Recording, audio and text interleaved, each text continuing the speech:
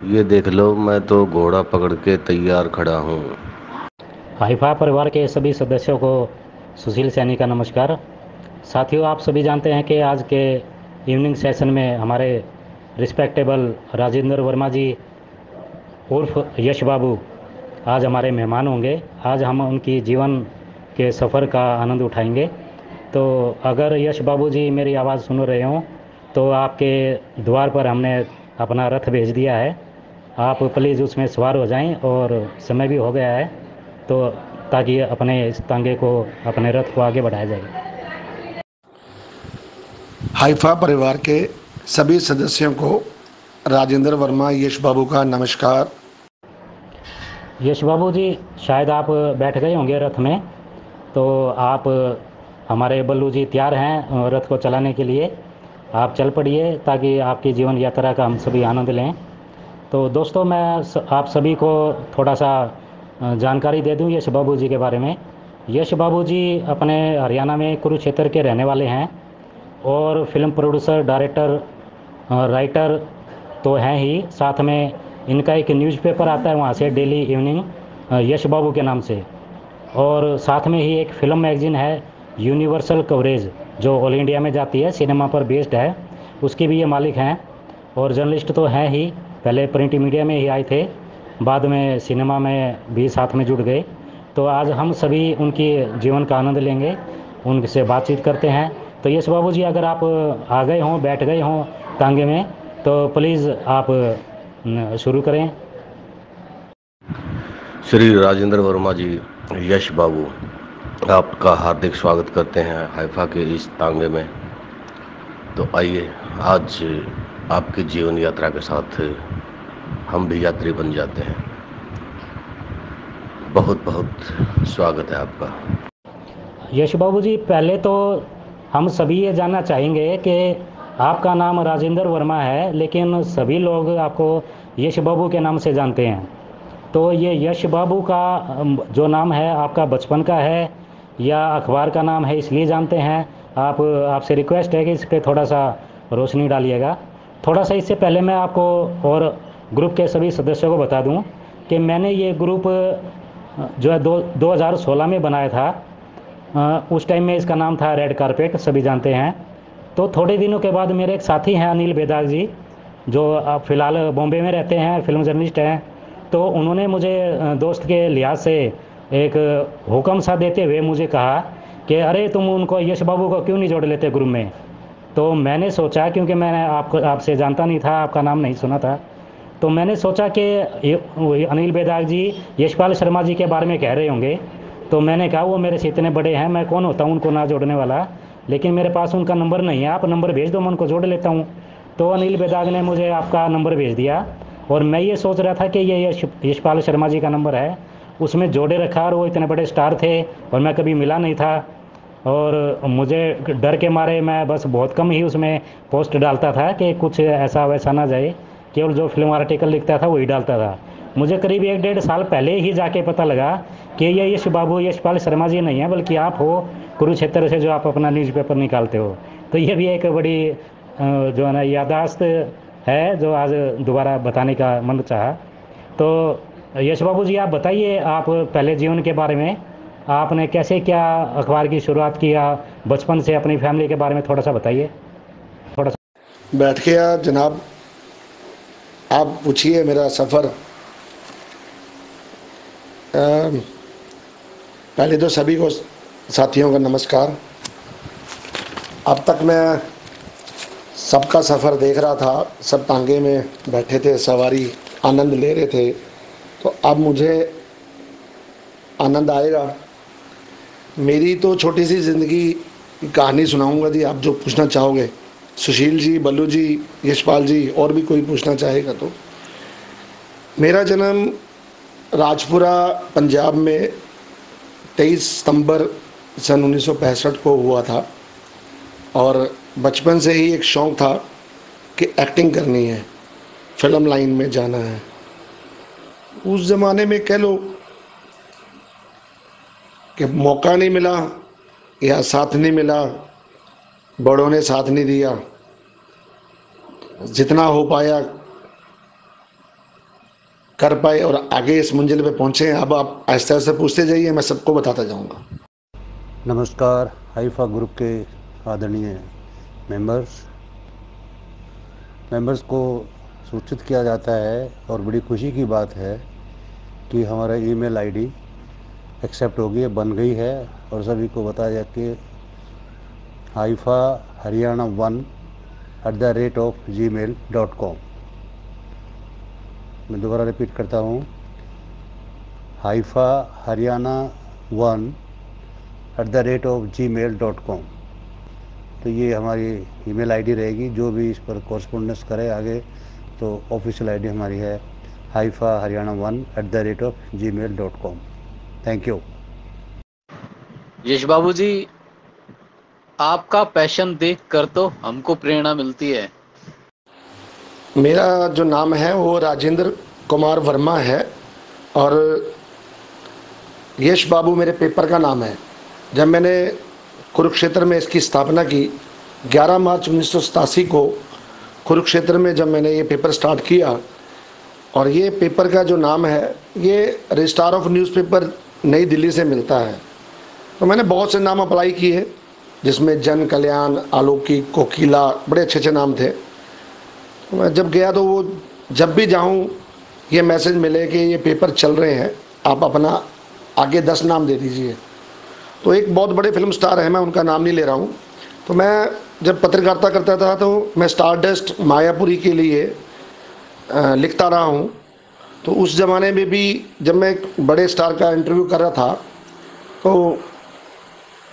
उस समय मैं जब दिल्ली में था, मेरी जब मुलाकात हुई उन कलाकार से तो मैंने बोला, यार, मैंने अभी जाना है रजिस्टार और न्यूज़पेपर में तो यार ऐसे ऐसे मुझे नाम नहीं मिल रहे हैं तो मैं नाम लूँगा। तो बोलते हैं कि, यार, आजकल सलीम जावेद लक्ष्मीकांत प्यारेलाल, दो भाइयों के नाम से रख दो ना, दो भाई रख दो। तो करते करते उन्होंने मुझे सजेस्ट किया कि आपका नाम क्या है? राजेंद्र। राजेंद्र बाबू रख लो। नहीं जी। फिर आया यश। मैंने कहा, यश बड़े भाई साहब का नाम है। तो बोले, यश बाबू रख लो। मैंने कहा, यमुनानगर में एक बहुत बड़े साहित्यकार भी हुए हैं। तो वो उस समय जब हमने वहाँ फ़ोन किया कि यश बाबू नाम दे दो तो उन्होंने कहा, बोला कि चल रहा है। तो उन स्टार ने फ़िल्म स्टार ने ये बात बोली जी, अभी हमें, हमने तो अभी इसका नाम, अभी नामकरण तो अभी किया है। आपके पास कहाँ चल रहा है, ज़रा मुझे बताइए। तो ज़रा एक घंटे के बाद वो यश बाबू नाम मुझे मिल गया और मैं जब कुरुक्षेत्र में वो नाम लेके आया तो बहुत से लोगों ने कहा, यार, क्या नाम लेके आए हो यार? ये नाम है? ये तो एक किसी पर्सनल किसी आदमी का नाम चलता है, लगता है। तो मैं फिर दोबारा से किया कि, यार, नाम नया दे दो, कुछ और दे दो अच्छा सा दे दो। तो वही कलाकार बोले कि, भाई साहब वो मुझे राज जी बोलते थे। राज जी आप नाम को छोड़ो आप एक ऐसा पेपर स्टार्ट करो एक ऐसी क्वालिटी उसमें बनाओ कि लोग आपको उस नाम से जाने। बस वो जब मैंने उनका आ, उनकी बात सुनी और मैंने वो अपने दिल दिमाग में बिठा दी और मैंने वो पेपर स्टार्ट किया और आहिस्ता आहिस्ता एक साल के बाद मैं समझता हूँ कि लोग मुझे राजेंद्र वर्मा के नाम से नहीं यश बाबू के नाम से जानने लग गए थे। यश बाबू जी आप बताइए कि आप सबसे पहले प्रिंट मीडिया में आए या सिनेमा में आए? कैसे क्या शुरुआत हुई? पूरी हाइफा फैमिली को बहुत बहुत मुबारक हो। हमारे जो कागज़ी कार्रवाई है उसका पहला स्टेप पूरा हुआ। Thank you so much Rampal ji Janardan ji Sushil भाई राजू भाई सबका पूरी टीम का बहुत बहुत धन्यवाद। मैंने सबसे पहले तो पंजाबी यूनिवर्सिटी पटियाला में मैं जॉब करता था। 86 में मैंने वहाँ से रिज़ाइन किया और एक नए शहर में, एक नए काम की तलाश में कुरुक्षेत्र आया और मुझे ये कुरुक्षेत्र बहुत प्यारा लगा क्योंकि एक बार मैं कुरुक्षेत्र आना चाहता था तो सूर्य ग्रहण का मेला लगता था, उस समय बोलते थे बुज़ुर्ग बोलते हैं, कुंभ का मेला लगा है तो ये बहुत स्नान करने से ये होता है वो। तो मैंने कहा जाना ज़रूर है। मैं जब यहाँ आया तो मुझे ये शहर बहुत अच्छा लगा और मैंने प्रण किया। कि मुझे इस शहर में जो भी करना है, इस शहर में काम करना है। और वो 11 मार्च सतासी को जब मैंने पेपर स्टार्ट किया, वो इतना पॉपुलर हुआ, उस ज़माने में लोकल न्यूज़ का समय होता था। लोकल न्यूज़ का एक पैटर्न होता था कि बड़े पेपरों में वो स्थान ही नहीं होता था कि जैसे पंजाब केसरी है, भास्कर है। भास्कर तो खैर अब आया 2000 में। उस ज़माने में पंजाब केसरी, अजीत और ट्रिब्यून चलते थे। इनमें वो स्थान नहीं होता था कि कुरुक्षेत्र की खबरों को वो स्थान दें। वो मौका मुझे मिला, वो सारा श्रेय मैं समझता हूँ कि कुरुक्षेत्र की सारी खबरें छापने का मौका मुझे मिलता था। और शाम को, फ़िलहाल तो मैंने स्टार्ट किया था वीकली से। पूरा सप्ताह लोग इंतज़ार करते थे कि यश बाबू आएगा, आज देखेंगे उसमें क्या क्या छपा है। और उसके बाद जैसे पॉपुलर हुआ तो 96 में मैं जब बम्बई जाता था, मायापुरी स्टार डस्ट के लिए लिखता था तो कई बार ऐसा होता था कि मैंने मान लो आमिर खान जी का इंटरव्यू किया है। मैंने तो बना दिया चार पेज का आर्टिकल उन पेपर उन न्यूज़ उन मैगजीन में क्या होता था कि एक कॉलम का न्यूज़ लगा और बाकी उड़ा देते थे। तब भी मेरे मन में आया कि यार इन कलाकारों के लिए इतना कुछ लिखने लिख, लिखता हूँ। उनकी जीवनी इतनी उनका इतना स्ट्रगल है स्ट्रगल उन्होंने इतना संघर्ष किया हुआ है। तो क्यों ना उनको पूरा स्थान मिले? तभी मेरे मन में आया कि मैं एक फ़िल्म मैगजीन निकालूँगा। तब मैंने एक नया नाम अप्लाई किया तो मुझे वो यूनिवर्सल कवरेज के नाम से 96 में, सितंबर में मैंने एक फ़िल्म पत्रिका निकाली। उस उस ज़माने में मैंने जो निकाली थी 84 पेजेस की मैगजीन होती थी। और मात्र बारह रुपये का मैंने मैगजीन स्टार्ट किया था। और मैं समझता हूँ कि उसके बाद मैंने कभी पीछे मुड़ के नहीं देखा। लोगों ने इतना प्यार, स्नेह दिया बड़े बड़े कलाकारों ने मुझे पलकों पे बिठाया। जब भी मैंने मुंबई जाना, मेरा वहाँ वेलकम होता था। सब लोग मेरा इंतज़ार करते थे कि आज यश बाबू जी आएँगे और हमारा जो है इंटरव्यू चाहे मुझे वो दो घंटे देते थे, चाहे चार घंटे देते थे, वो मैं ये समझता था कि मुझे वहाँ से वो वापस ही नहीं आने देते थे। और कुछ ना कुछ मैं कई, काफ़ी कलाकारों का इंटरव्यू छोड़ के आता था कि, सर, मैं नेक्स्ट मंथ आऊँगा, मैं आपका इंटरव्यू करूँगा। और देखते ही देखते 99 में मैंने ये वीकली से फिर दैनिक कर दिया, क्योंकि इस शहर में इतनी खबरें थी और बड़े पेपर ऐसे थे जो रोज़ इतना मैटर छापना उचित नहीं समझते थे, किसी को स्थान नहीं मिलता था मैंने फिर दैनिक पेपर स्टार्ट कर दिया। और आज तीनों मेरे पब्लिकेशन बड़े अच्छी तरीके से निकल रहे हैं, और मैं ये समझता हूँ कि मुझे इस यश बाबू ने ही नाम भी दिया है, और फ़िल्म भी मैं फ़िल्म लाइन में भी इन्हीं इसी की वजह से गया हूँ।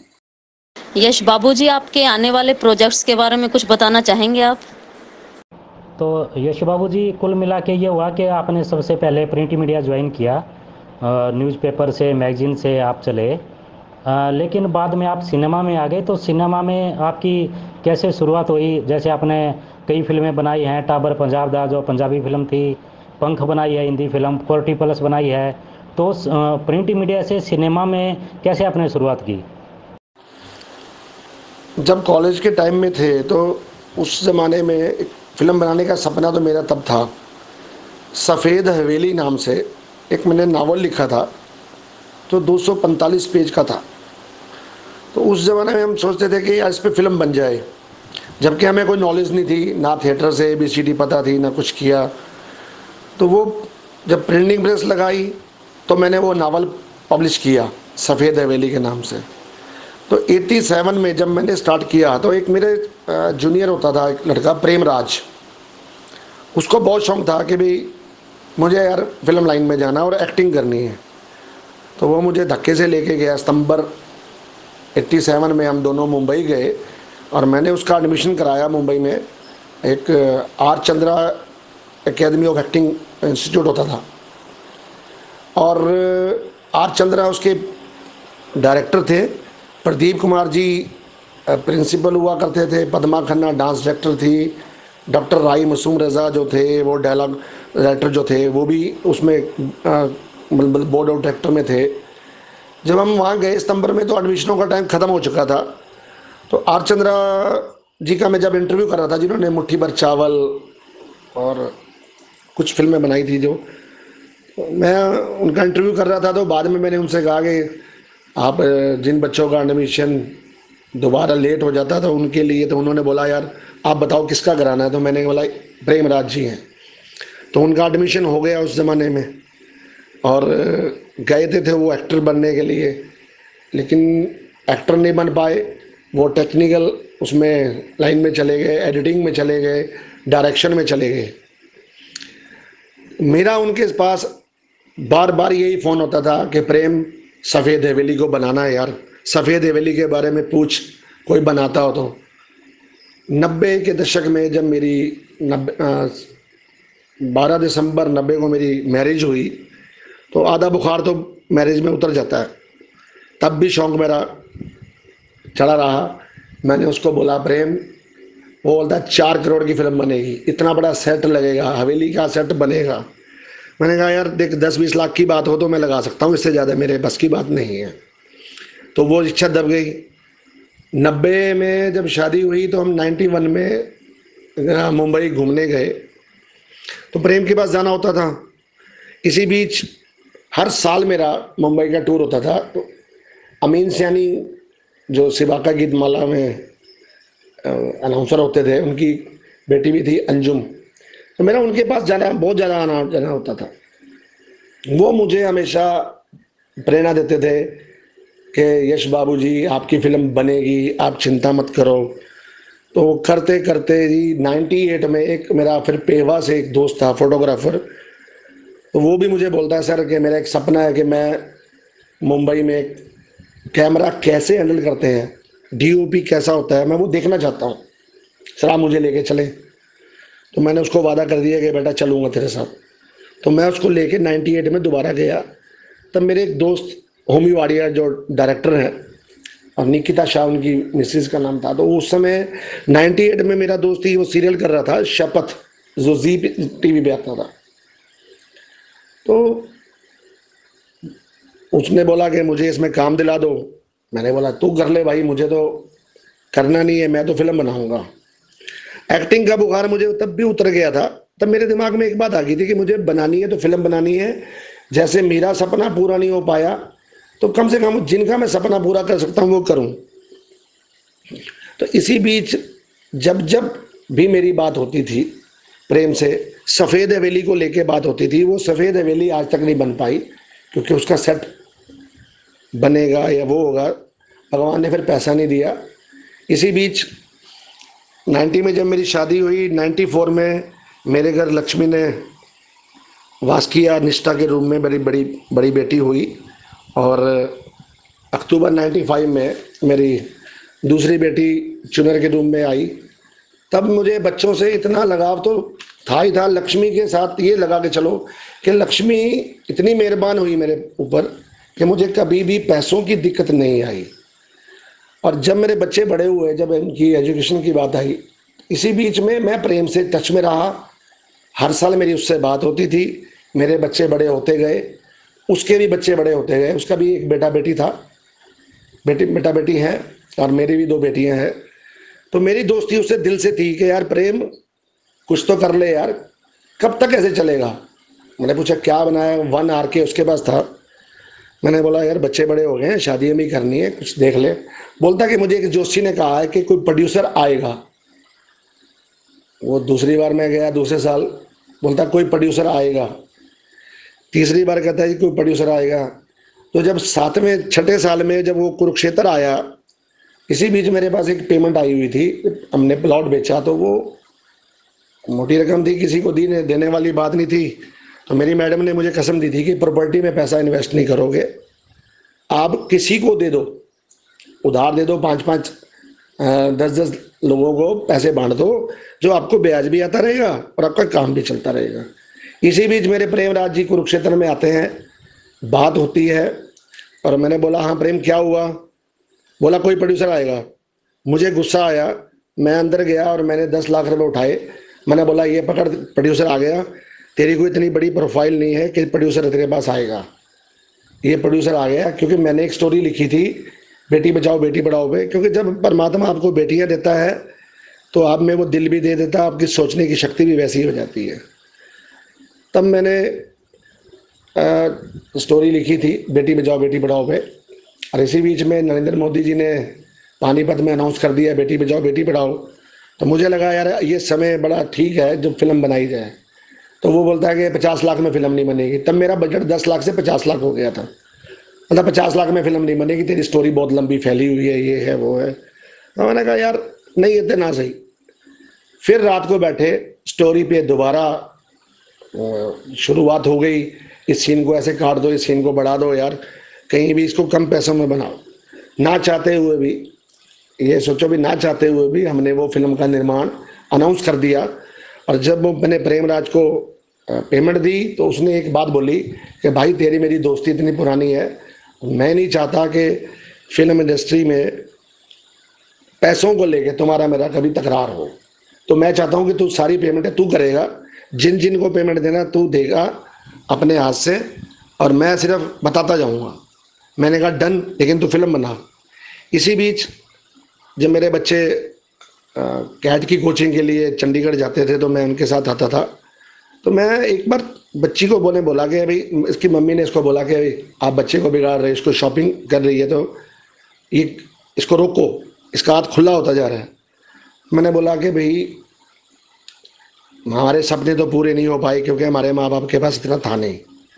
तो कम से कम बच्चों का सपना है, जब अगर हम कर सकते हैं तो बच्चों को अपने इच्छाओं को पूरा करने दो। इनके ड्रीम कभी रहने नहीं चाहिए, इनके सपने पूरे होने चाहिए। तो जब मैं वापस आ रहा था, गाड़ी ड्राइव कर रहा था तो मेरी छोटी बेटी ने, चुनर ने बोला, पापा, आपका भी कोई ड्रीम रह गया? आपका भी कोई ऐसा सपना होगा जो पूरा ना हुआ हो? तो गाड़ी चलाते समय मैंने सारा पीछे फ्लैशबैक में गया और मेरे मुँह से निकल गया कि भाई, मैं एक्टर बन एक्टिंग करना चाहता था एक्टर बनना चाहता था। वो बस तेरे दादू ने मेरे को जाने नहीं दिया। तो फिर वो, मेरी बेटी ने मुझे इतना हौसला दिया कि, पापा, आप पूरा नहीं कर पाए तो आप उन लोगों के लिए एक आइडियल पर्सन बनो, जिनको मौका नहीं मिलता, आप उनके लिए फ़िल्म बनाओ।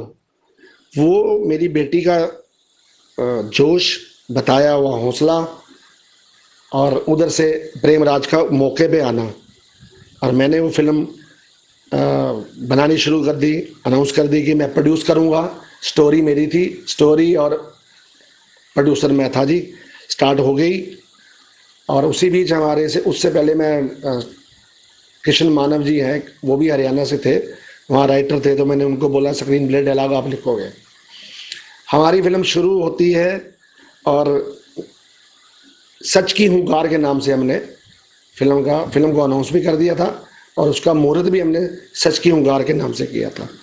और जब सच की हुकार के नाम से मुहूर्त हो गया तो इसी बीच बच्चों के साथ हम, मैं अपने बच्चों को दोस्त बना के चलता हूँ और जितनी भी युवा पीढ़ी है, मैं उनके बीच में रहता हूँ, उनसे हर बात को समय समय में देखता हूँ कि क्या परिवर्तन हो रहा है, फ़िल्म लाइन में क्या बदलाव है, बच्चे क्या देखना चाहते हैं, और जो प्रोड्यूसर है डायरेक्टर है, क्या दे रहा है।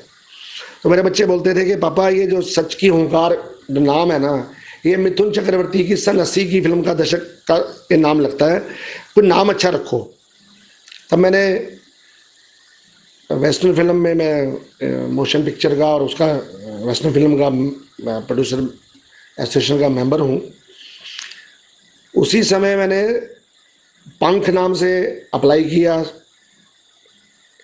विद्या विद्यापथ के नाम से, जो स्टोरी में थे करेक्टर थे, क्योंकि नाम मिलने बड़े मुश्किल थे। मुझे पता था कि अगर अखबार का नाम नहीं मिलता तो फ़िल्म का नाम भी आपको नहीं मिलने वाला सोखर में किसी बीच मैंने फिर पंख लिया तो बोलते कि पंख नहीं मिलेगा, भैया आगे पीछे लगा लो। एक डॉटर टेल लगाया। उन्होंने बोला, पीछे मत लगाओ, आगे लगाओ। तो ये फ़िल्म फ़िल्म का नाम बन गया, ए डॉटर्स टेल पंख। और मैंने इसकी शूटिंग सिक्सटीन में मतलब नवंबर 2016 में, मुंबई में 12 दिन का शूट मैंने किया था। और इसी से मेरी शुरुआत हो गई थी। बाकी आप पूछो आप पूछो। तो यश बाबू जी सबसे पहली फ़िल्म आपकी पंजाबी थी जो टाबर पंजाब दा है या पंख थी? कौन सी फ़िल्म पहले बनाई कैसे बनी? मेरी पहली फ़िल्म जो रिलीज़ हुई थी 17 नवंबर 2017 को वो थी ये डॉक्टर टेल पंख। ये फ़िल्म मैंने अकेले बनाई क्योंकि इससे पहले मेरा अनुभव था कि आठ साल पहले जब मैं मुंबई जाता था सभी स्ट्रगलर जितने भी मतलब प्रेमराज है उसका एक छोटा भाई था अजय आर्या नरेश कथोरिया जी थे। आ, जो राइटर रहे हैं बड़े नगेंद्र चौहान थे। उनको सबको शौक था कि भाई डायरेक्शन करना है। तो इसी बीच में जब जाता तो मैंने प्रेम जी को मैं तो प्रेम पे बड़ा ट्रस्ट करता था प्रेम से मेरी बड़ी दोस्ती थी। प्रेम को मैंने एक ही बात कही थी कि प्रेम मेरे से पैसे ले ले और फ़िल्म का निर्माण कर। जब वो फ़िल्म बनने शुरू हुई तो फ़िल्म आठ साल तक बनी रह गई, जिसका कोई बैकग्राउंड म्यूज़िक नहीं था डबिंग नहीं थी, कुछ भी नहीं हुआ था। सबको ये लगा कि यार, फ़िल्म कौन रिलीज़ करेगा? क्योंकि फ़िल्म बनाना तो बहुत आसान है। फ़िल्म को रिलीज़ करना बड़ा मुश्किल है। तो इसी बीच जब मुझे पंख का अनुभव हो गया, फ़िल्म को मैंने ऑल ओवर इंडिया में 680 स्क्रीन पे लगाया था। जब मेरी पिक्चर रिलीज़ हुई तो मैं पहली बात तो है कि मैं देखा जाए तो मैं टूट ही चुका था कि यार, जितनी बड़ी फ़िल्म बनाई है, उतना रिटर्न ही नहीं आया। फ़िल्म बनाई थी कि बिक जाएगी, लेने वाला कोई नहीं आया। आपके पास फ़िल्म बनाने के लिए पैसे हैं और रिलीज़ करने के लिए नहीं है। उसी बीच में फिर आपको एक जुनून होता है पैशन होता है, यार पिछली फ़िल्म बड़ी है, उसको बना देते हैं। तो मैंने प्रेम राज से पूछा कि प्रेम उस फ़िल्म पे क्या रहा? मतलब कर लो। तो फिर मैंने उसको स्टार्ट किया। वो फ़िल्म कम पैसों में तैयार हो गई जो बंद पड़ी थी। और जब तैयार हो गई, फिर मैंने उसको सेंसर बोर्ड में भेजा। वो 2019 फ़र्स्ट जनवरी 2019 को वो रिलीज़ की थी हमने, एक साल के बाद। वो भी 42 थिएटर में लगी थी। आ, मैंने उसको पंजाब और हरियाणा के दो शहरों में एक कुरुक्षेत्र भी एक, एक मतलब टोटल 42 थिएटर में लगी थी जबकि पंख सिक्स एटी थिएटर में लगी थी। तो इससे इससे आप कह सकते हो कि पंख जो है मेरी पहली फ़िल्म है और टब्बर पंजाबदा मेरी दूसरी फ़िल्म है। अनामिका जी मेरी फोर्टी प्लस के बाद जो फीचर फ़िल्म आ रही है वो हरियाणवी फ़िल्म है कर्म क्षेत्र। जिसके गीत भी आपने लिखे हैं। दो गाने आपके हैं, एक मेरे और मित्र ने लिखा है। और उसके बाद मेरी हिंदी फीचर फ़िल्म जो आ रही है, वो लाइफ में लोचा है। ये दोनों फ़िल्में कंप्लीट हो चुकी हैं, सिर्फ़ लॉकडाउन की वजह से, सिर्फ़ पोस्ट प्रोडक्शन का काम रहता है। एडिटिंग भी हो चुकी है।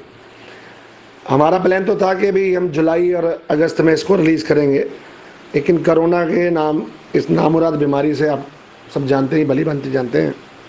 ये दो फ़िल्मों के बाद जो मैं आगे बनाने जा रहा हूँ, जो मेरे प्रोजेक्ट हैं, होल्ड हैं, वो जो मैंने स्टार्ट करनी थी, वो पंद्रह सॉरी, पंद्रह अप्रैल को मैंने शूट करनी थी फोर्टी एट कोर्स के नाम से।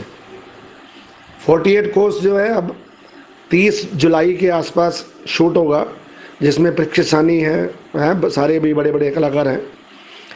और उसके बाद मैं स्टार्ट करूँगा रेड स्लीपर के नाम से। दो मेरी फीचर फ़िल्में, और अभी शूट होने बाकी हैं।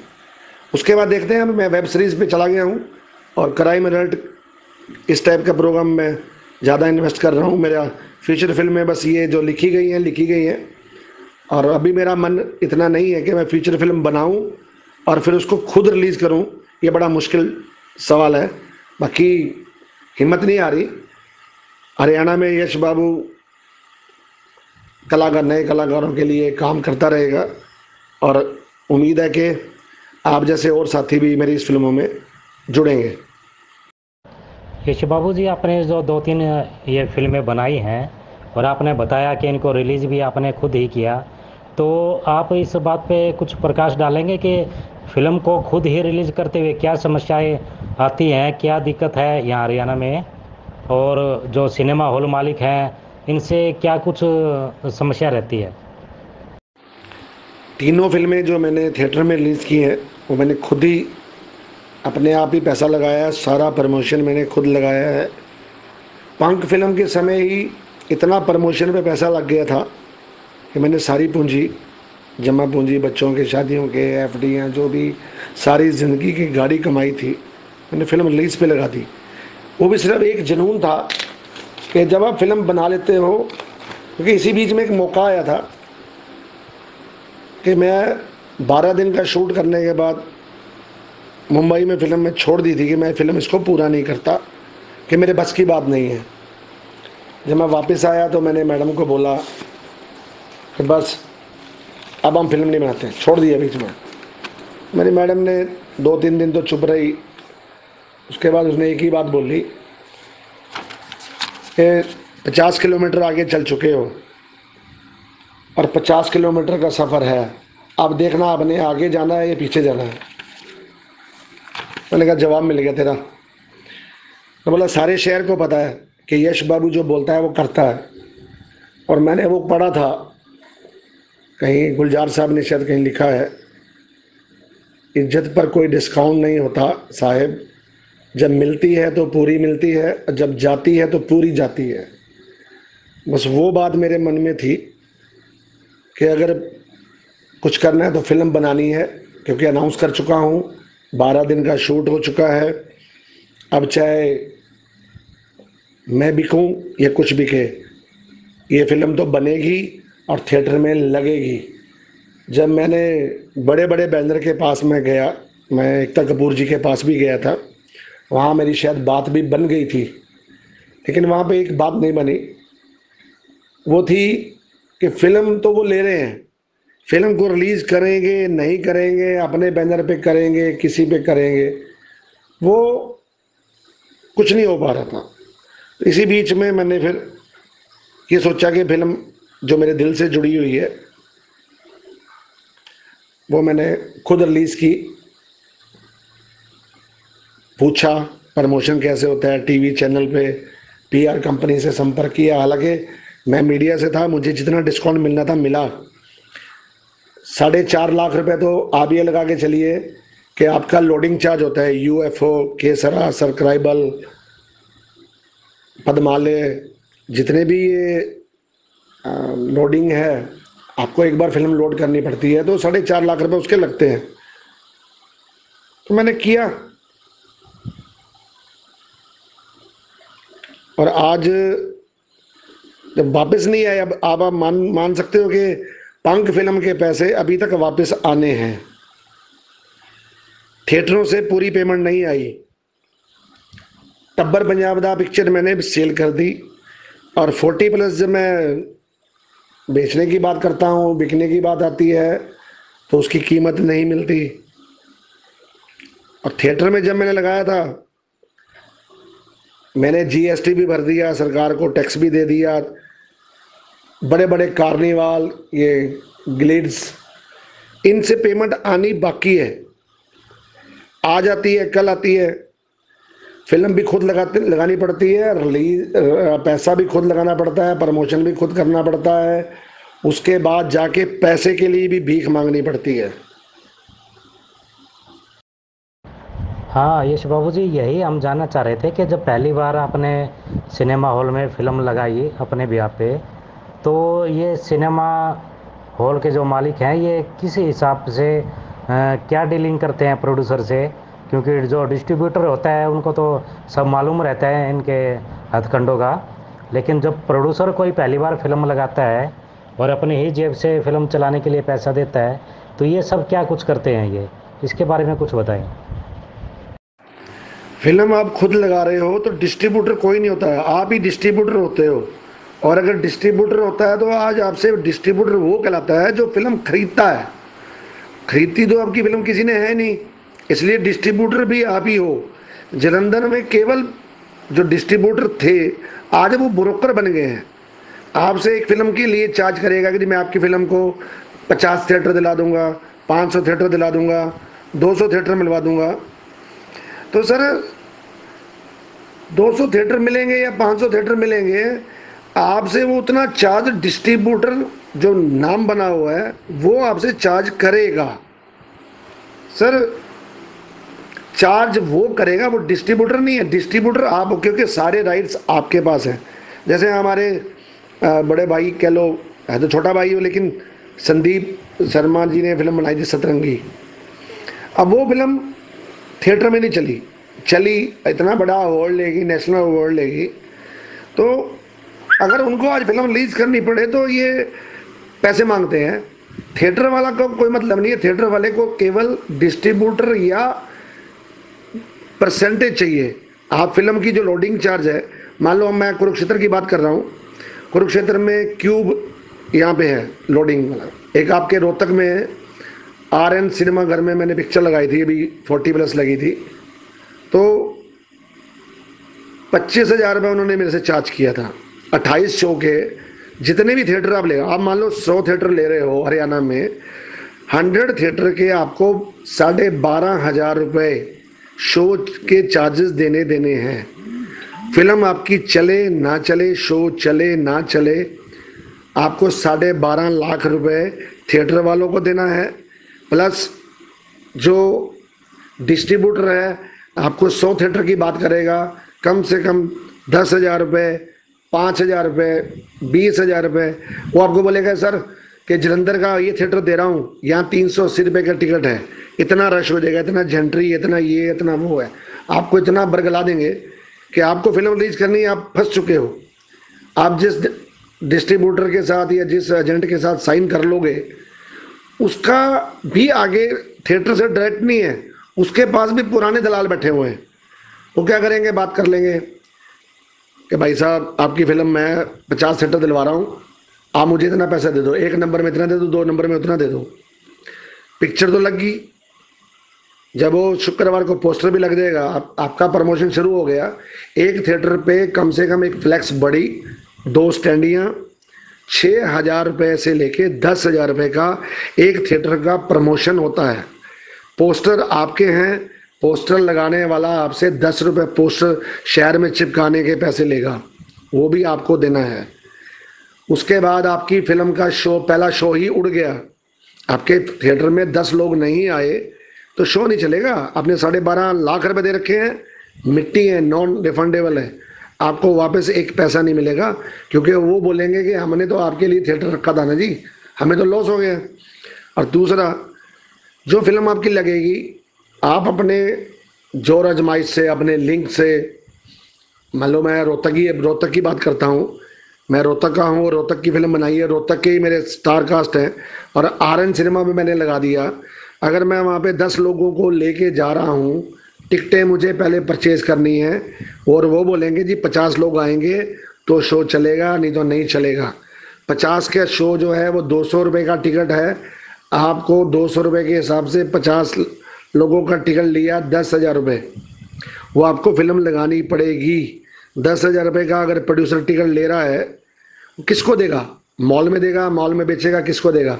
और अगर मान लो आपने टिकट लेके अपने दस साथियों को बुलाया, सौ लोगों को बुलाया, सौ में से भी आपके बीस लोग आएँगे, अस्सी लोगों को कोई ना कोई दिक्कत रहेगी यार, आज मेरे घर में मेरे माता जी बीमार हो गए, यार आज बच्चा बीमार है, आज मुझे स्कूल जाना है, मुझे वो भी टाइम पे नहीं आएगा। अस्सी टिकट आपकी बेकार है। आप वापस करोगे, वो आपसे नहीं लेगा। हाउसफुल नहीं कर सकते हो, दूसरे शो में आपकी फ़िल्म उठा के बाहर फेंकेंगे। रही बात कि आप ये चाहते हो कि पिक्चर लगे और पैसा ना लगे थिएटर वाले कुछ करें, ये थिएटर वाले कुछ नहीं कर सकते। जो कुछ करना है, आपको करना है। प्रोड्यूसर बनने से पहले एक बात हमेशा याद रखो कि आप एक कुएँ में छलांग मारने जा रहे हो। अगर आपके पास बंदोबस्त नहीं है, आपके पास अपने बच्चों के भविष्य के के लिए पैसा रखने के बाद एक्स्ट्रा पैसा आप इस्तेमाल कर रहे हो फ़िल्म प्रोड्यूसर में प्रोडक्शन हाउस में, तब तो ठीक है। वरना ये ये तो मैं इसको क्या बोल सकता हूँ, आत्महत्या करने वाली बात है। बेचैन साहब, इसी जुनून में तो पिक्चर बन गई। बस ये जो इज़्ज़त का मामला है ना, कि आप अनाउंस कर देते हो। और फ़िल्म जब मैं पहली बार बनाने गया था ना, मुंबई में तो बहुत से कलाकार बड़े बड़े कलाकार कहते थे कि पता नहीं, यार ये फ़िल्म बनाएँगे, चलेगी भी कि नहीं चलेगी? ये थिएटर में भी लगा पाएँगे कि नहीं? और आज बेचैन साहब, वही इज़्ज़त मैं मुंबई से लाया हूँ। आपको मैं बता दूँ कि कोरोना के समय भी बहुत बड़े बड़े दिग्गज कलाकार आज भी बोलते हैं, यश बाबू जी आप फ़िल्म बनाइए। हम बिना पैसे भी काम करने को तैयार हैं। जब फ़िल्म बिक जाए, फ़िल्म रिलीज़ हो जाए, आप हमें पैसे देना। क्योंकि उनको भी पता है कि ये आदमी फ़िल्म बनाएगा तो थिएटर में ज़रूर लगाएगा। यही इज़्ज़त कमाई है सर, और कुछ नहीं है। यश बाबू ब्रांड ऐसे खड़ा नहीं हो गया। यश बाबू ने सिर्फ़ नाम ही कमाया, पैसा कमाया नहीं कमाया। आज तो चलो, मैं ये नहीं कहता कि मैं बहुत पैसा कमा रहा हूँ, लेकिन आज मैं गवा नहीं रहा हूँ। पहली फ़िल्म में जो मेरा गया गया। और जो आज मैं कमा रहा हूँ, मैं ये समझता हूँ कि मेरी पहली फ़िल्म ने भले पैसा नहीं कमाया, लेकिन मेरी पहली फ़िल्म पंख ने डीडी नेशनल पे 12 सितंबर 2019 को 128 देशों में उसका एक ही टाइम में प्रसारण हुआ। मेरे लिए एक गर्व की बात है। मेरे लिए बहुत बड़ी इज़्ज़त है जो मुझे इस फ़िल्म ने दी है। दूसरा जब मेरी फ़िल्म का प्रमोशन हो रहा था तो उस समय मुझे याद है कि दो टीवी स्टार भी थे जिन, जो मेरी फ़िल्म में नहीं थे, लेकिन वो मेरी फ़िल्म के प्रमोशन के लिए आए थे। फ़िल्म गदर के जो अनिल शर्मा जी हैं, वो शर्मा जी दिल्ली में जब मैंने फ़िल्म का प्रोमो रिलीज़ किया था वो स्पेशल इस बात को कह के आए थे कि यश बाबू जी, आपकी फ़िल्म बहुत बढ़िया चलेगी, आपकी फ़िल्म का कंसेप्ट बहुत बढ़िया है आपको यहाँ इज़्ज़त मान पूरा मिलेगा, आप आइए। तो यश ये अनिल शर्मा जी अगर मुझे वहाँ पे आशीर्वाद देते हैं और मैं ये समझता हूँ कि मैं इज़्ज़त कमा रहा हूँ और भगवान ने चाहा तो मैं पैसा भी कमाऊँगा, आप सब भाइयों का आशीर्वाद रहेगा। गौड़ साहब, नमस्कार। भाई साहब, मज़ा आ गया। आप यहाँ आइफा से आप भी जुड़े हैं। बहुत अच्छा लगा भाई साहब दिल की गहराइयों से वेलकम है आपका। जिंदाबाद गौड़ साहब। तो यश बाबू जी आपने पहले पंजाबी और हिंदी फ़िल्में ही बनाई। बाद में आपने अनाउंस भी किया था कि आप एक हरियाणवी फ़िल्म भी बना रहे हैं। तो हरियाणवी की तरफ़ आपका अ, क्या आपका सोचना है? कोई फ़िल्म जो बनाने वाले थे वो बन गई या नहीं बन गई? हरियाणवी फ़िल्म के बारे में कुछ बताइए। जी यश बाबू आपने एकदम दुरुस्त फरमाया भाई। बस मुझे तो यही समझ में आया कि ये जो फ़िल्में होती है, ये प्रोड्यूसर की औलाद होती है।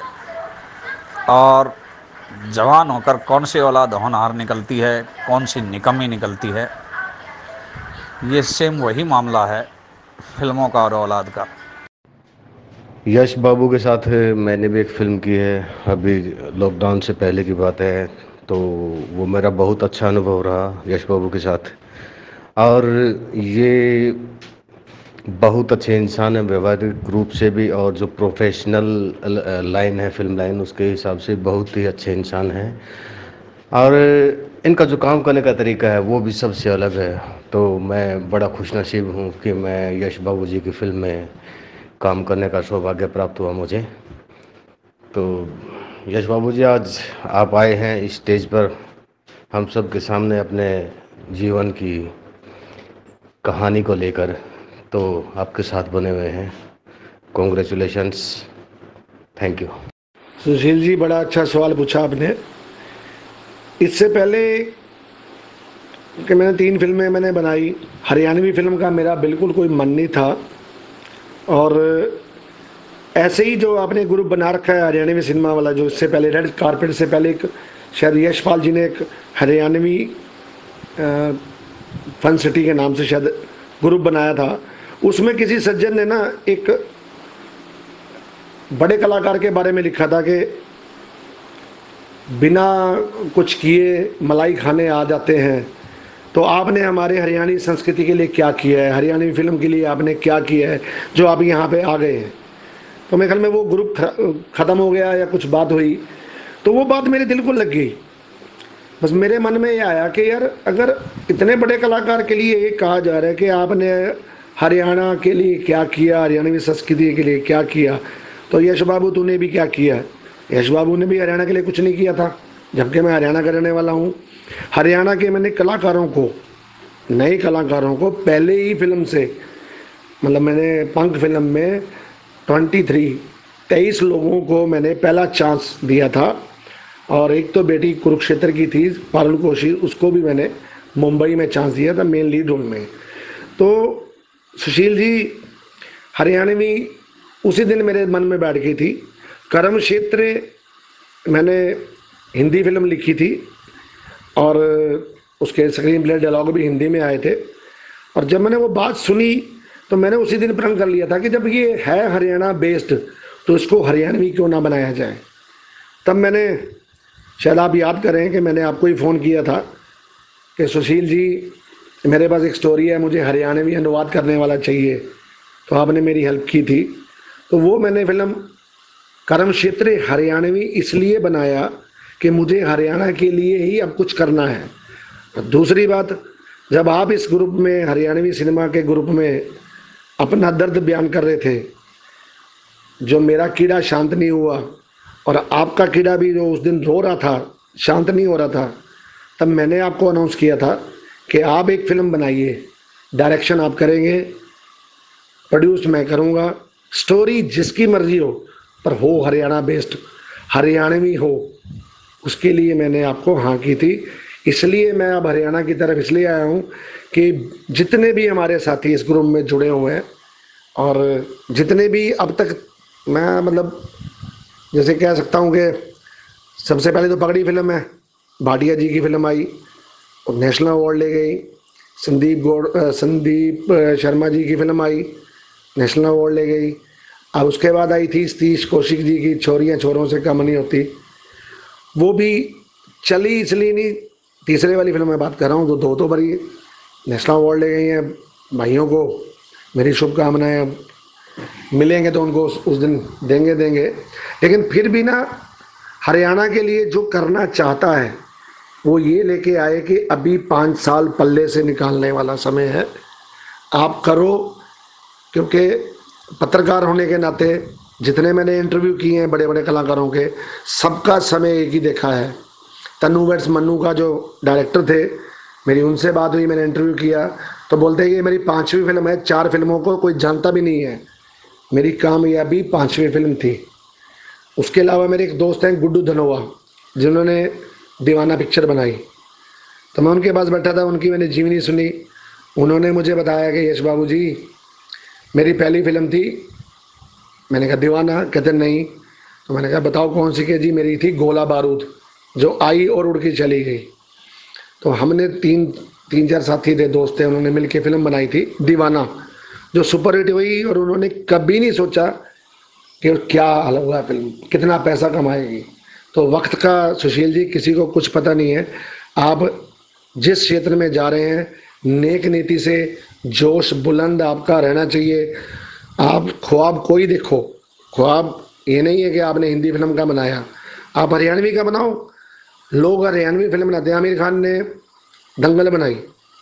हरियाणा बेच थी अगर वो कमा सकती है तो अगर दादा लक्ष्मी चंद जी पे, मुझे याद है आज भी, कि यशपाल शर्मा जी ने ढाई तीन साल तो पीएचडी कर ली होगी दादा पे। और मैंने बड़ी कोशिश की थी कि जब मैंने स्टोरी लिखी थी, पंख की तो यशपाल शर्मा जी के लिए लिखी थी। पर यशपाल शर्मा जी के पास समय नहीं था, और वो किरदार मेहुल बुच ने निभाया सुशील जी, मैं हरियाणवी फ़िल्म के लिए आपको फिर से फिर से बधाई देता हूँ, आपको देता हूँ। ऐसे नहीं मैंने आपको चुना था कि आप फ़िल्म बनाओ। आपको भी ऑफ़र है, कम से कम एक दो और भी ऑफ़र है, जो अपने बजट में रह के फ़िल्म बनाए और पैसा भले ना आए, लेकिन अवार्ड लेके आए, नाम आपकी छाप छोड़ जाए कि आपने हरियाणा के लिए, हरियाणवी के लिए कुछ किया है किया है। जेडी बल्लू जी धन्यवाद। वो कर्म क्षेत्र में जो आपने काम किया है, वो आप पे ही रोल फिट बैठता था। जब आप कहानी लिखते हो तो आपको पता है कि ये किरदार कौन निभा सकता है। पहली फ़िल्म में भी मैंने पूरा ध्यान दिया था और मैंने एक जगह गलती की थी कि मैंने इमोशनल एक ऐसा करेक्टर ले लिया था जो मुझे वाकई में नहीं लेना चाहिए था। क्योंकि फ़िल्म के बाद, बनने के बाद लोग बोलते हैं, यार, इसको किसको ले लिया? इसको लेना चाहिए था। तो जब मैंने फ़िल्म लिखी तो किरदार देखने के बाद, शायद आपको याद होगा कि मैंने आपसे पूरा ऑडिशन भी लिया था और आपसे फ़ोटोग्राफ्स भी मंगाए थे। जब तक मेरे मन में, मेरे दिल पे उतरे नहीं, बल्लू जी, आपको लिया भी नहीं। पर आप याद कर लो, आपको जल्दी थी, वरना दाढ़ी फ़िल्म में भी आप आने वाले थे। और अब भी जो नेक्स्ट मूवी बन रही है, उसमें भी आपका है, बड़ा रोल तो नहीं कह सकता, लेकिन वो बहुत से साथी इस ग्रुप में हैं, जो बुज़ुर्ग हैं, क्योंकि वो फ़िल्म एक बुज़ुर्गों पे बन रही है फोर्टी एट कोर्स जो रेमंड ग्रुप के मालिक के ऊपर फ़िल्म है बागवान टू टाइप फ़िल्म कह सकता हूँ। मैं समझता हूँ कि उसमें जो मेरी उम्र के हैं फोर्टी प्लस से ज़्यादा हैं फोर्टी से सिक्सटी प्लस में हैं ऑलमोस्ट कम से कम दस साथी ज़रूर उस फ़िल्म में होंगे। और हम सभी होंगे। धन्यवाद। बेचैन साहब आपने भी एक फ़िल्म बनाई है ना? आप भी सुना दो कुछ। क्योंकि मैं समझता हूँ कि फ़िल्म जो है हौसले और पागलपन में बनती है। प्लान करके चलो तो कभी किसी के पास पैसा पूरा हो ही नहीं पाता कि वो फ़िल्म पूरी करे। और फ़िल्म बन जाती है तो उसके बाद फिर पैसा नहीं होता कि वो रिलीज़ करे। आप भी कुछ अपना अनुभव बता दो इसमें। बॉल बेचैन के पाले में है। भगवान करे तुझे कभी चैन ना मिले।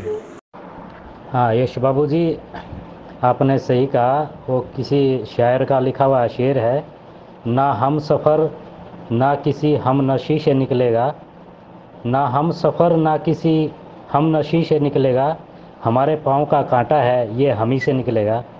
आपने मेरे बारे में जो कुछ भी कहा मैं आपका तहे दिल से शुक्रगुजार हूँ कि आपने मैंने आज तक कुछ ऐसा नहीं किया इस लाइन में फ़िल्म लाइन में। फिर भी आप मेरे ऊपर जुआ खेलने के लिए तैयार हैं तो मैं अपना सौभाग्य समझ समझूँगा। तो अ, कुल मिला के यही है कि आपका हिंदी सिनेमा से और हरियाणवी सिनेमा की ओर जो अ, अभी आपने रुख किया है तो हमारी दुआएँ हैं कि आप कुछ अच्छा करें आप जो भी प्रोजेक्ट लेके चलें उसमें कामयाबी मिले, ताकि एक नया रास्ता मिले। हरियाणा को लेके, हरियाणवी सिनेमा के विकास को लेके जो हम अपने ये ग्रुप को लेके चल रहे हैं तो हमारी सबकी योजनाएँ, हमारे सबके सपने पूरे हों और हरियाणवी सिनेमा अपनी बुलंदियों को छुए, उसमें आप सबका, हम सबका योगदान शामिल रहेगा। तो आप बनाएँ जो आपके अच्छा है वाह यश बाबू, वाह। सैल्यूट आपके जज्बे को और सैल्यूट आपकी विचारधारा को। भाई, आज हरियाणा में यही विचारधारा चाहिए, यही जज्बा चाहिए और यही जज्बा, यही विचारधारा हरियाणवी सिनेमा के लिए एक इबारत लिखेगी। मज़ा आ गया भाई आपकी विचारधारा सुन के। सैल्यूट है आपको और हाइफा परिवार का सौभाग्य है जो इसमें आप जैसी शख्सियत जुड़ी हुई है, आप जैसे विचारहीन युवा साथी, आप जैसे प्रभावशाली निर्देशक, निर्माता यहाँ हमारे बीच में जुड़े हुए हैं और हम उनसे कुछ सीख रहे हैं। मज़ा आ गया यश बाबू भाई। एक बार पुनः आपको मुबारकबाद। मुझे बेचैन रहने की दुआ देते हैं। ये दोस्त है मेरे। अच्छी बात है। भाई और माँ जी वो कहते हैं ना कि कि तुम्हें सुनाओ यारो क्या ढंग है ज़माने के। हमने तो आजकल घर से निकलना छोड़ दिया। भाई सुनाना तो यही है कि जो मैंने देखा और मैंने महसूस किया, फ़िल्में वास्तव में जुनून से ही बनती है। पैसा मायने रखता है, लेकिन मुझे ये लगता है कि अगर आप में जुनून है और आपकी इच्छा शक्ति है तो पैसे का भी प्रबंध हो जाता है, पैसा भी आ जाता है। लेकिन उन लोगों के बारे में भी सोचो भाई, जिनके पास पैसा भी है, लेकिन इच्छा शक्ति नहीं है।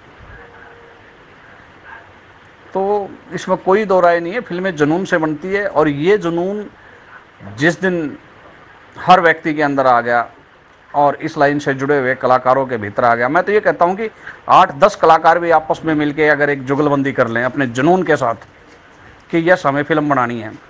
तो कोई बड़ी बात नहीं है।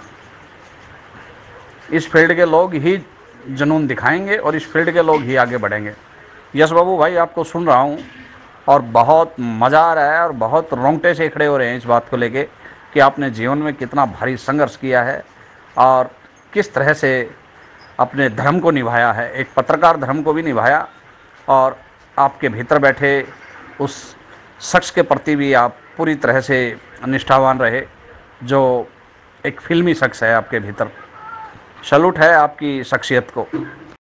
खबर उनकी भी लो यारो जो हिम्मत हार बैठे हैं। जी यस बाबू भाई कंटिन्यू रखे आप अपने जर्नी को। हम आपके साथ जुड़े हुए हैं। बेचैन भाई केवल मेरे चाहने से या मेरे अकेले से पूरा हरियाणा इकट्ठा नहीं होगा। इस ग्रुप में जितने भी लोग हैं जितने जिन्हों में, जिनमें मैं कह सकता हूँ जुनून है। जैसे एक पिक्चर बना चुके पहले साथी। मतलब अगर वो दोबारा से जुड़ें, उनका सपना हो गया मैं दोबारा ऐसे एक फ़िल्म बनाना चाहता हूँ। क्योंकि मेरा ये मानना है कि पहली फ़िल्म से उनको पैसा वापस नहीं आया और वो दोबारा से ठंडे हो गए। ठंडे हो गए या वो सोचते हैं कि चलो पहले पैसे आ जाएँ तो दोबारा हिम्मत जुटाते हैं। लेकिन मैंने शायद उनसे हटके इसलिए जल्दबाजी की है कि मैंने पाँच फ़िल्में बना दी, तीन रिलीज़ कर दी, दो बना दी। सिर्फ़ इस उम्मीद में कि बड़े बड़े प्रोड्यूसर और डायरेक्टर का ये अनुभव है कि जी पाँच छः फ़िल्में तो आपको भले बनानी पड़ती हैं। छठी, सातवीं फ़िल्म के बाद आपका नाम होता है। और आठवीं, नौवीं में आपके सारे पिछले फ़िल्मों के भी पैसे वापस आते हैं। मेरा ये मानना कि अगर कोई और साथी भी फ़िल्म बनाना चाहता हो, जिसके पास एक स्टोरी हो, जुनून हो, हौसला हो, बुलंद रखे, हौसला ये नहीं कि आज हौसला है जी हाँ बनाना चाहता हूँ, घर जाए तो बीवी बोल दे, नहीं, पहले तो हमारे को राशन दे, पहले घर का राशन दे भाई, तेरी बैंक की किस्त खड़ी है, तेरे को पहले वो लेने आया था, वो देने आया था। वो व्यक्ति नहीं। जो व्यक्ति जुड़े वो ये लेके आए कि मैं तो सर पे कफन बाँध के चला हूँ भैया। तब तो वो फ़िल्म का प्रोड्यूसर भी बन सकता है डायरेक्टर भी बन सकता है राइटर भी बन सकता है और वो आगे भी निकल सकता है। मुझे आज भी याद है मेरी फ़िल्म के जो स्क्रीन प्ले राइटर थे कृष्ण मानव मुझे नहीं पता था कि वो आ, उन्होंने पैंतालीस साल हो गए उनको मुंबई में गए हुए। इन फोर्टी फाइव ईयर में पच्चीस पैंतालीस साल तक उनको एक regular film writer writer association का कार्ड नहीं मिला, क्योंकि उनकी कोई फ़िल्म रिलीज़ नहीं हो पाई। जब मेरे पास आए कुरुक्षेत्र में एक बहुत बड़ी सिफारिश लेके आया था कि मैं कुरुक्षेत्र जा रहा हूँ तो भैया जा रहा तो यश बाबू एंटरटेनमेंट वहाँ मिल के आना। मुझे फ़ोन आया कॉल आया कि जी मैं मानव बोल रहा हूँ, मुझे पांडे जी ने भेजा है। चाहिए वेलकम मैंने बुक्को से उनका स्वागत किया, बातचीत की और जाते समय मैंने उनको एक चक पकड़ा दिया कि आप मेरी फ़िल्म लिख रहे हो। और जब वो गए, और तब तक उन्होंने मुझे नहीं बोला। मेरे साथ वो बैठते रहे, तब तक उन्होंने कुछ नहीं बोला। बाद में उन्होंने बोला, जब मैंने उनको फुल एंड फाइनल पेमेंट दे दी कि, यश बाबू जी मैंने ये फ़िल्म लिखी, वो साली स्टार्ट हुई, पूरी नहीं हो पाई। मेरी वो फ़िल्म लिखी, वो साली सेट पे आग लग गई। मैंने वो फ़िल्म लिखी, वो बंदा आपस में झगड़ा हो गया। सर, उसने मेरे को पाँच फ़िल्मों का नाम बताए, पाँचों फ़िल्में पूरी नहीं हो पाई। और जब मैंने कहा, मानव जी, आप बेफिक्र होके जाओ, ये फ़िल्म भी पूरी होगी, आपका सपना मैं पूरा करूँगा, तोड़ दो आप इस पुलिसियों को कि आपने आज तक कोई फ़िल्म आपकी रिलीज़ नहीं हो पाई। ये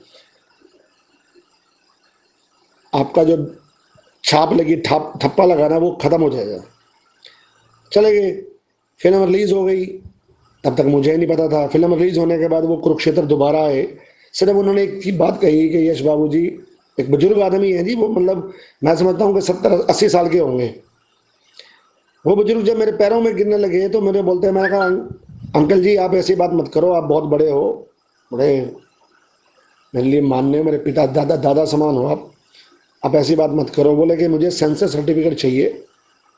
और सेंसर सर्टिफिकेट फ़ोटो कॉपी मैंने जब उनको दी, और सच बताऊँ तो वो आँखों माथे पे लगा के, रोने लग गए कि पैंतालीस साल में मेरा सपना तुमने पूरा किया है। आज मैं रेगुलर मेंबर बन जाऊँगा फ़िल्म राइटर एसोसिएशन का। आज उनकी वहाँ पे जो ओल्ड मतलब बुढ़ापा पेंशन भी उनकी लग गई है, जैसा कि वो कहते हैं। तो ये नहीं होता कि आप क्या कर रहे हो, क्या जुनून है। हम मिलके हम सभी को एक दूसरे का साथ देना चाहिए। अगर कोई व्यक्ति किसी मामले में पैसों में कमज़ोर है, किसी मामले में अगर उसके साथ घर वाले सपोर्ट नहीं करते, लेकिन वो कुछ करना चाहता है तो हम सब का फ़र्ज़ बनता है, सभी साथियों का। जो जो जिस जिस में, जिस जिस क्षेत्र में निपुण है, उनको, उन अपने साथियों का साथ देना चाहिए। चाहे वो कास्टिंग हो एक्टिंग हो, चाहे वो फाइनेंशियली भी हो, क्योंकि इस लॉकडाउन में बहुत से कलाकारों का घर चूल्हा चौका बंद पड़ा है। अपने में तो नहीं कह सकता, लेकिन जो कलाकार साथी है ना, उनके बारे में सुन के मुझे बड़ा दर्द सा महसूस होता है। तो बेचैन साहब, आपसे भी गुजारिश है। आप सबके साथ जुड़ो, क्योंकि आपका जो हंसमुख चेहरा है, हंसमुख जो बातचीत का तरीका है, आप सबको जोड़ लेते हो, चाहे हमारे बेचैन साहब को बेचैन करने के लिए। अभी हमारे शर्मा जी कह रहे थे तो बस इसी तरह प्यार बनाए रखो, साथियों को जोड़ो, मेरी शुभकामनाएँ। यश जी, नमस्कार, संदीप शर्मा बोल रहा हूँ। अभी आपकी ये क्लिप सुनी डिस्ट्रीब्यूशन को लेके। तो इसमें मैं थोड़ा सा करेक्ट करना चाहता हूँ कि जैसे आपने सतरंगी की बात कही, कि सतरंगी जो थी, क्योंकि ऊपर वाले की मेर रही है हम पे, सतरंगी की पूरी टीम पे। कि हमें कहीं कहीं पर भी कोई भी गलत इंसान नहीं मिला। और हर चीज़ को लेके वो लिखने से लेके और फ़िल्म रिली, रिलीज़ करने तक कोई भी गलत इंसान नहीं जुड़ा। सब एक से एक बढ़िया जुड़ते गए। तो जहाँ आपने बात कही कि फ़िल्म बनाना आसान है और रिलीज़ करना मुश्किल है तो पता नहीं। मेरे को तो वही है कि भाई हाँ हरियाणा में मैंने फ़िल्म रिलीज़ किया तो मुश्किल तो मुझे कुछ भी नहीं आई और ना ही इस तरीके से मैं लुटा, जिस तरीके की चीज़ें आपने बताई। कि एक बहुत ही जहीन इंसान है, बहुत ही ईमानदार इंसान है, जिनका नाम है संजय घई। तो मैं उनसे मिला था, उनको मैंने अपनी शोरील दिखाई थी फ़िल्म की और उन्होंने तुरंत कहा था कि, भाई साहब, मैं रिलीज़ कर दूँगा, कोई टेंशन बात नहीं है। तो जो उनके कोई उन्होंने मुझसे चार्जेस नहीं मांगा, कोई उस तरीके की मुझसे कोई मोटा पैसा नहीं। एक जो डील होती है वो डिस्ट्रीब्यूटर की, कि भाई परसेंटेज वो तो आपको देना ही पड़ेगा। तो जो उन्होंने मुझे परसेंटेज कही थी, हमने उसको डन किया और उन्होंने फ़िल्म रिलीज़ की थी।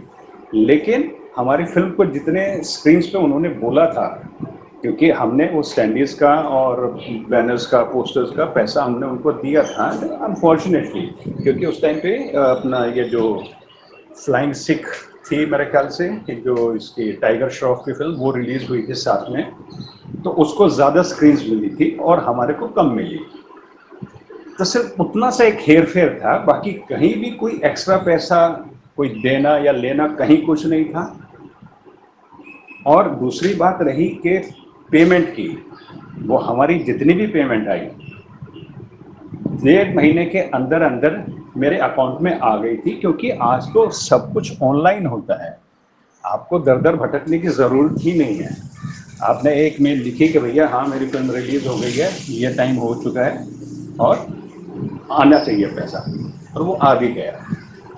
तो वो मुझे नहीं पता, वो मुझे कहीं ना कहीं ये लगता है कि भाई एक सही इंसान का मिलना बहुत ज़रूरी है जो आपको ठीक से गाइड कर सके। वाह यश बाबू, वास्तव में यार मज़ा आ गया। कामयाबी की जो स्टोरियाँ आप बता रहे हैं कि कामयाबी कितने कदम दूर होती है और किस तरह कामयाबी मिलती है और कामयाबी के क्या मापदंड होते हैं वास्तव में भाई आप जो बताने लग रहे हैं, वो वही है। मुझे एक किस्सा याद आ गया कि किसी ने ये सुना कि भाई उसके खेतों में तेल निकलता है। तो उसने अपने खेतों में खर्चा करना शुरू कर दिया और उसकी खुदाई शुरू कर दी, लेकिन उसमें कहीं भी तेल नहीं निकला। वो हो गया परेशान। कोई आप जैसा था उसने उससे पूछा, भाई, तेरा कितने का खेत है? बोले, अभी मेरा खेत है पचास लाख का और इसके ऊपर खर्चा कितना लगा खुदाई करवाने में? बोले, अभी खुदाई करवाने में खर्चा लगा तीस लाख। बोले, अस्सी लाख। बोला, ये ले अस्सी लाख रुपए और तेरा खेत मुझे दे दे। उसने वो खेत ले लिया। अब खेत लेने के बाद उसने देखा, यार, इस बंदे ने पिचानवे फुट तक खोद रखा है और तेल नहीं निकला, थोड़ा और खोद के देख ले। अब उसने अपनी खुदाई चालू करवाई। और भाई साहब, पाँच फुट खोदने के बाद उसमें तेल निकलाया तो तब किसी पत्रकार ने उससे पूछा कि सक्सेस के क्या मापदंड है और सक्सेस कितनी लंबी होती है? तो उस शख्स ने कहा, भाई, मेरी नज़र में तो सक्सेस पाँच फुट लंबी होती है।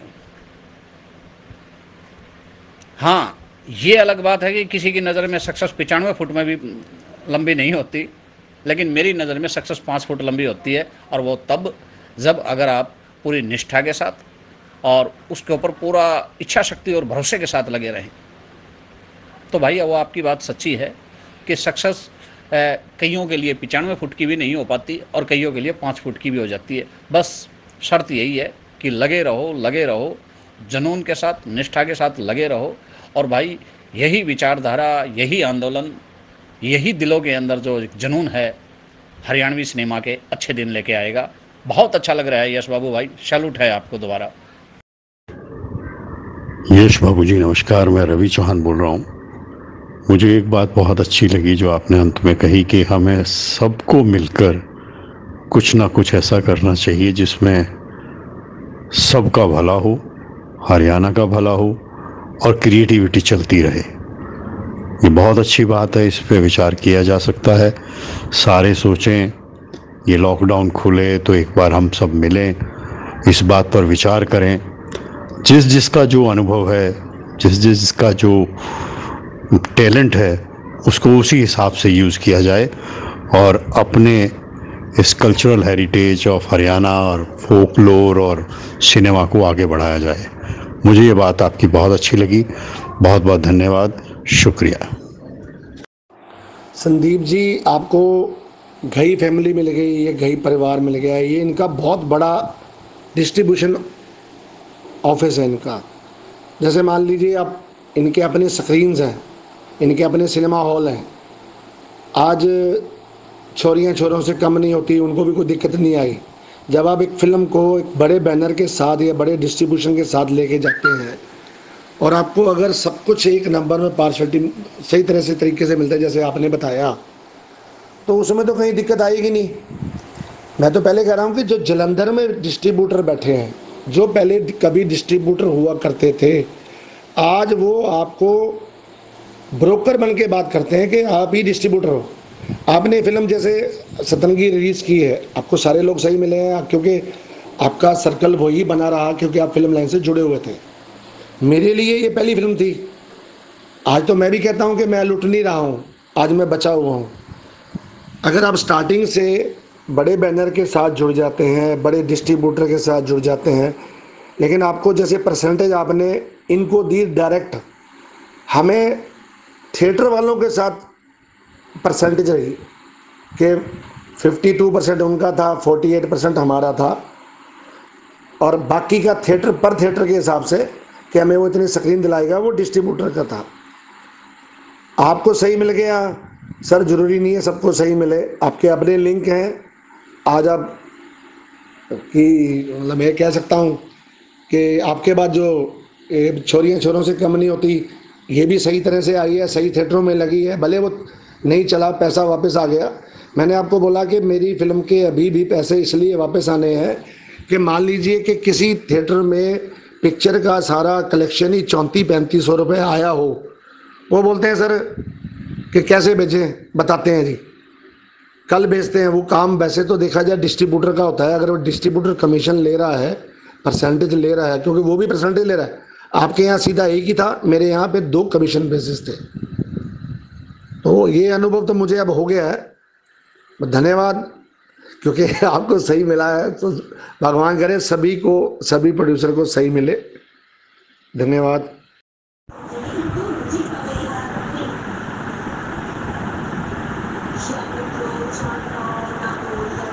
संदीप शर्मा कुछ रोचक बात बता रहे हैं। नॉलेज अपडेटेड ज़रूर हो, होती रहनी चाहिए।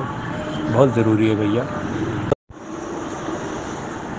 सबसे बड़ी खुशी की बात तो ये है कि यश बाऊ के जो घर से हैं यानी जो उनकी नज़र हयात हैं उन्होंने बड़ा साथ दिया है बड़ा सहयोग दिया है भाई। वो छोटी बात नहीं है बहुत अच्छा है। मैं भी मिला हूँ इनसे, काफ़ी नज़दीकी से जानता हूँ। बहुत ही जुझारू व्यक्तित्व है इनका। यश बाबू जी, आज आप हमारे यहाँ जीवन के सफ़र में शामिल हुए। आपने बहुत कुछ काम की बातें बताई। हम आपका आभार व्यक्त करते हैं और सभी साथियों ने बहुत कुछ अच्छा सुना आपसे और जाना आपके बारे में। तो उम्मीद है कि सभी परिवार के साथियों को अच्छा लगा होगा। तो अभी प्रस्थान करते हैं। धन्यवाद आपका यहाँ आने के लिए। आपका तहे दिल से, मेरी ओर से और पूरे हाइफा परिवार की ओर से आपका धन्यवाद, आपका शुक्रिया।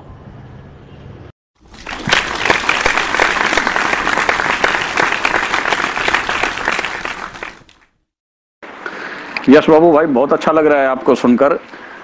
एक छोटा सवाल है मेरा कि आपने हिंदी फ़िल्में बनाई, अब बात हरियाणवी की है।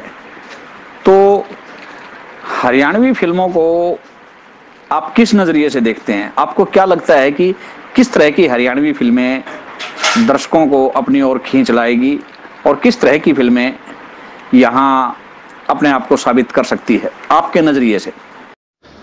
नमस्कार यश बाबू। बहुत बढ़िया अभी ख़त्म किया मैंने आपकी सारी बातें। बहुत ही अच्छी और बहुत ही बढ़िया और सबसे बढ़िया बात तो यह है कि आप एक के बाद एक फ़िल्म बनाते जा रहे हैं, बनाते जा रहे हैं, जो कि अपने आप में हरियाणा के लिए बहुत ही अच्छी बात है। चाहे कैसा भी सिनेमा बन रहा हो, हरियाणा के अंदर बन रहा है। तो ये बहुत बड़ी बात है और आपको सैल्यूट है इस बारे में, रियली। और दूसरी बात, जिस तरीके से आप निस्वार्थ भाव से लोगों को चांस दे रहे हैं, काम दे रहे हैं, ये भी अपने आप में बहुत बड़ी बात है और सैल्यूट के लायक बात है।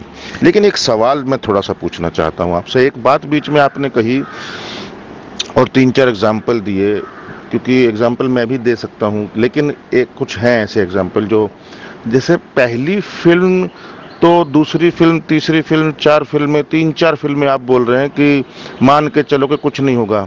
तो चौथी, पांचवी, दो तीन फ़िल्में तो कुर्बान करनी पड़ेंगी, चार फ़िल्में कुर्बान करनी पड़ेंगी। क्या इससे पांचवी, सातवीं, आठवीं में आपको शायद पैसा वापस आ जाए? तो आपको नहीं लगता इससे जो नई जनरेशन है, जो नए काम करने वाले लोग हैं, वो सोचेंगे, यार, फ़िल्म क्यों बनाएँ? आपकी बात को अगर सही मान लें तो वो सोचेंगे, क्यों बनाएँ फ़िल्म? यार, पहली, दूसरी, तीसरी तो फिर बेकार कोई फ़ायदा ही नहीं है। तो आपकी नज़र में क्या है? ये बात करना ठीक है लोग बच्चे लोगों के सामने नई जनरेशन के सामने? कोई जोश में उमंग में भरा हो नया और फ़िल्म बनाने की कोशिश कर रहा हो?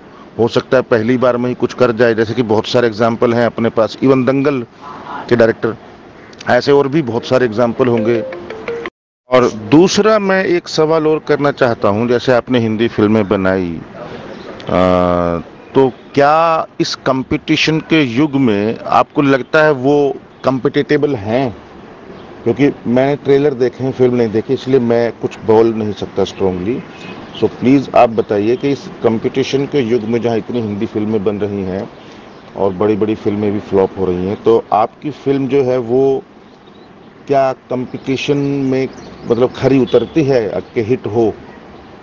नमस्कार जी, मैं आपका अपना हरियाणवी कलाकार अमर कटारिया हिपा परिवार को मेरी तरफ़ से नमस्कार और मैं तय दिल से धन्यवाद करना चाहता हूँ इसके एडमिनिस्ट्रेटर को जिसने मुझे इस ग्रुप में जोड़ा।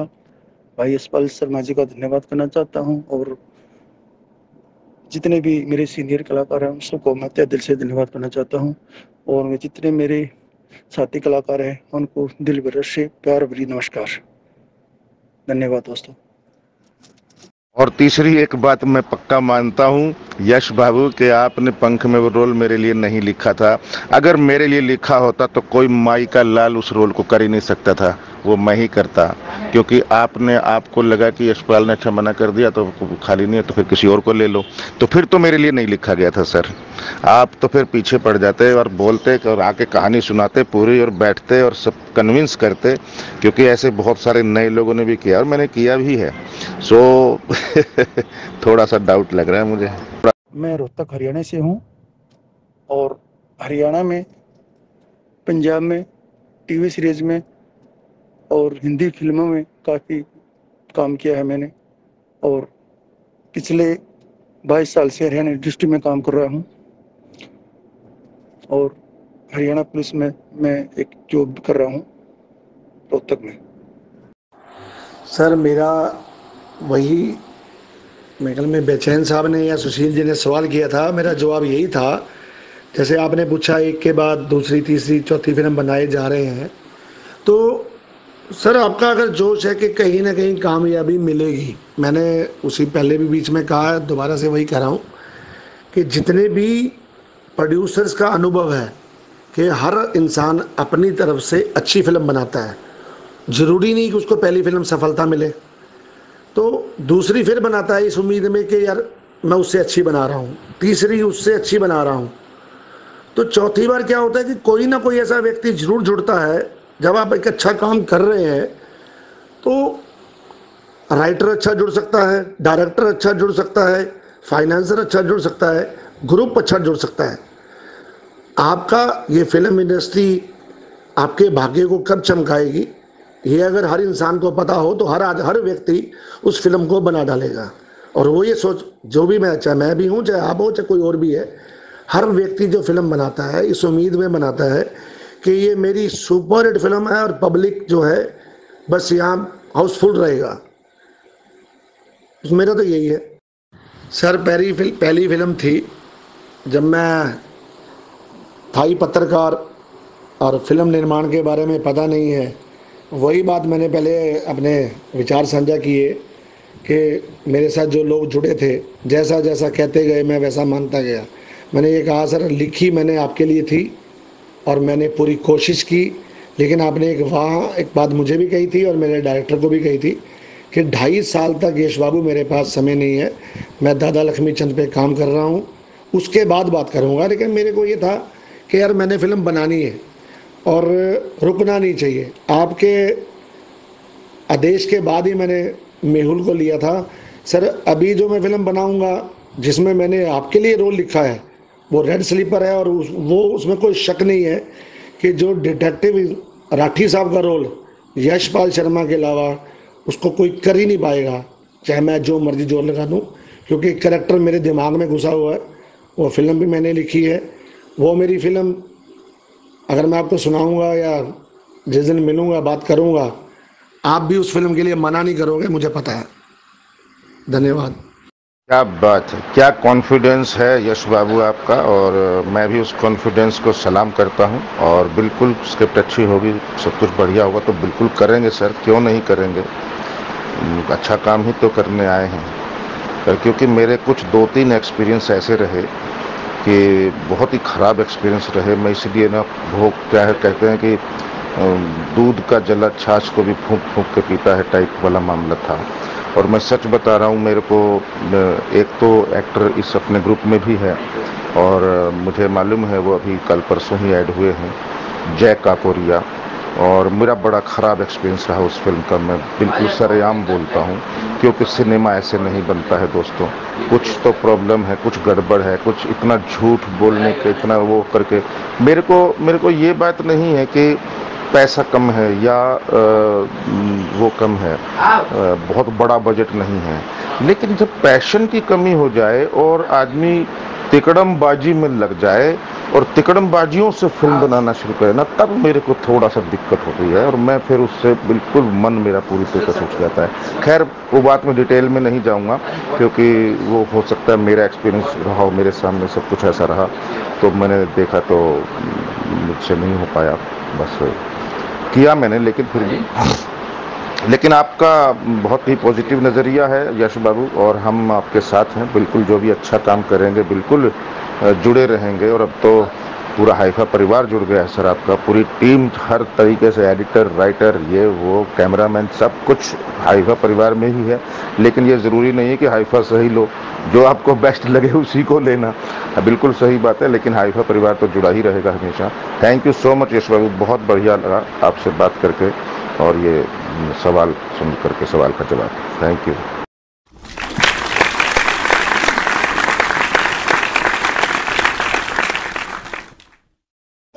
वर्मा जी, मैंने अभी आपकी जो कर, कर्म क्षेत्र है, उसमें भी एक दो सीन किए हैं छोटे छोटे और फिर आपने मुझे बताया था कि ये जो आपका रेड स्लीपर है, इसमें भी मैं काम कर रहा हूँ। और एक फ़िल्म और भी आपने बताई थी, कहा था कि उसमें भी आपने काम करना है। तो जहाँ तक रोल करने की बात है, वो तो आप, जैसा कहेंगे, मैं करूँगा। मुझे शौक़ है आप जब भी आदेश देते हैं, मैं आ जाता हूँ। और हाँ ये दूसरा अड़तालीस कोर्स में भी आपने कहा था कि इसमें भी रोल करना है आपने। इसके अलावा भी आपने सनी साहब से भी कही है और और लोगों से एक बात कही है कि अगर आपके पास कोई अच्छी प्रपोज़ल हो तो आप प्रोड्यूस करने को तैयार हैं। मेरे पास एक प्रपोज़ल है, एक अच्छी स्क्रिप्ट है मेरे पास, और मैं उसको बनाना चाहता हूँ। तो अगर मैं उसको उस पर काम करूँ तो आप अगर प्रोड्यूस कर दें उसको तो बड़ी मेहरबानी होगी। क्योंकि वो जो प्रोजेक्ट है बड़ा ही बढ़िया प्रोजेक्ट है। मैं सभी का धन्यवाद करता हूँ कि हाइफा परिवार में बोलने का मौका दिया गया। धन्यवाद। हाइफा परिवार के सभी सदस्यों को जेडी बल्लू की तरफ़ से सात बज के अट्ठारह मिनट वाली शाम वाली राम राम।